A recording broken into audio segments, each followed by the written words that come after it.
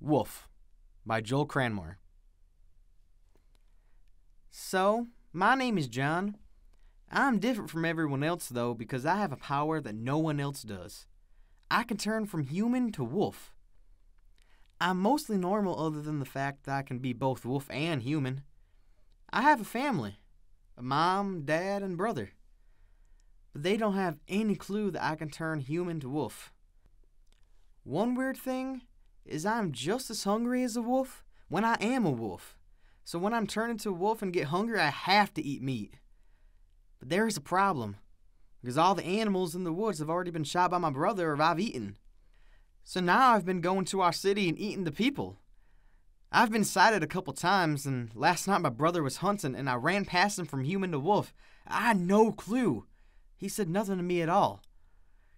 But tonight, tonight I'm really hungry. I don't have enough energy to get to the city in time. I have two choices. Either I go to the woods and I kill a deer, or go home and eat my dog, Timmy. I can't eat the dog. My parents got me and Frederick, my brother. So I set off to the woods to find something to eat after what feels like forever. I hear some. It's a doe, but it runs. I have no energy to chase it, so I can't.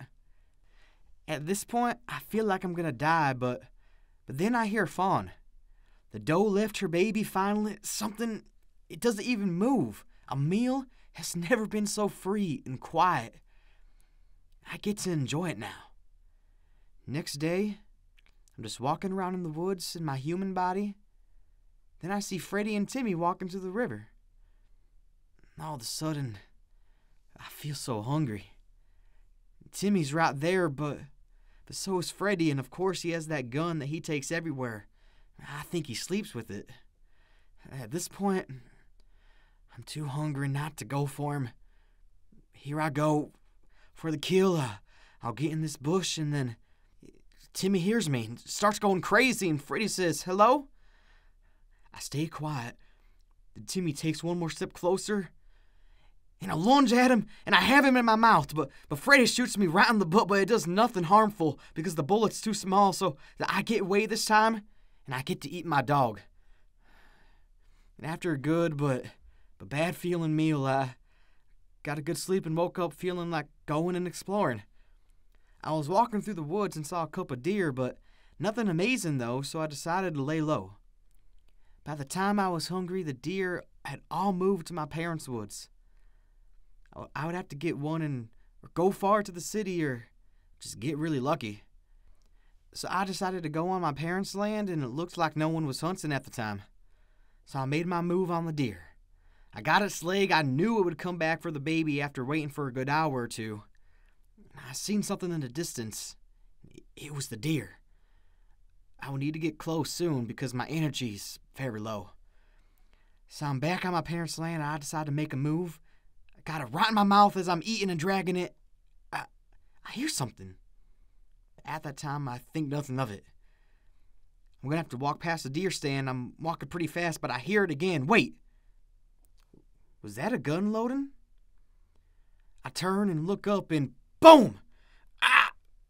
Shit. I've been shot by my brother, but, but this time I'm down and I, I can't get up. I see him coming fast. I close my eyes. Then I wake up. And I'm in my brother's arms.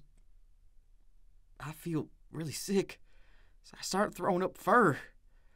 And look at my body and look at my body and I'm human. I try to go wolf, but I just puke again. I I see the house and I have to get out of here, but but I'm so weak I can't. I hear my parents scream with shock and happiness. They all hug me at once. I, I don't know how to feel, but I just lay down in my bed that looks the same as it did when I left. When I wake up next, I feel human again. And after that, my life goes back to normal. We all live happily ever after.